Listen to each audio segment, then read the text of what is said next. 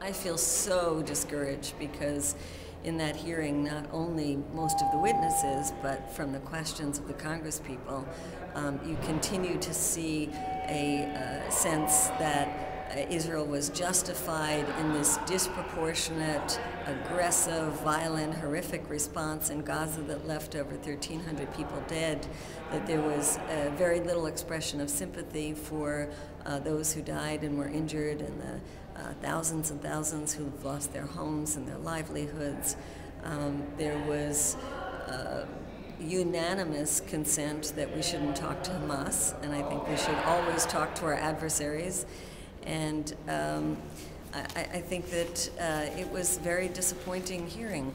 Um, there has to be a change of U.S. policy, and the uh, move even further to the right by the Israeli government with these last elections makes it more urgent that the U.S. government, the Obama administration, and Congress um, distance themselves from the policies of the Israeli government, and that uh, George Mitchell, as a peace envoy to the region, he goes to Gaza, sees the devastating destruction in Gaza, uh, he meets with Hamas, he goes to Syria, he really talks to and listens to all sides. Well, we think that the U.S. government has been unconditionally supporting Israel and that we need a policy that's more even handed.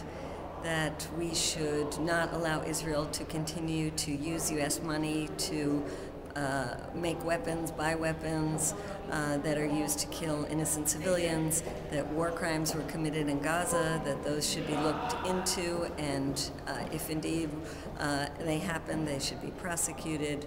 Um, the U.S. should push for a real two state solu solution, and in the case of Gaza, there has to be a lifting of the uh, border blockade, an opening of those borders so that goods and services can get through and people can live normal lives instead of lives under siege right now.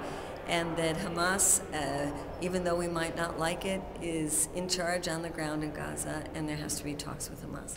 Well, we push both uh, legislatively that there be uh, resolutions and legislation that is more even-handed, that stops the use of uh, Israeli U.S. Uh, aid to Israel for uh, things like the uh, the uh, aggression that resulted in so many civilian lives lost.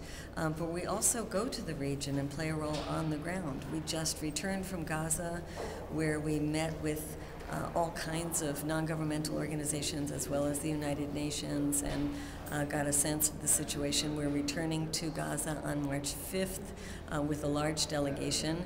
Uh, we will use that to, to pressure the Egyptian government uh, as well as the Israeli and the U.S. governments to uh, lift the blockade of the border crossings, allowing goods and to come in and out of, of Gaza and I think uh, we will play a very important role on the ground in that kind of pressure.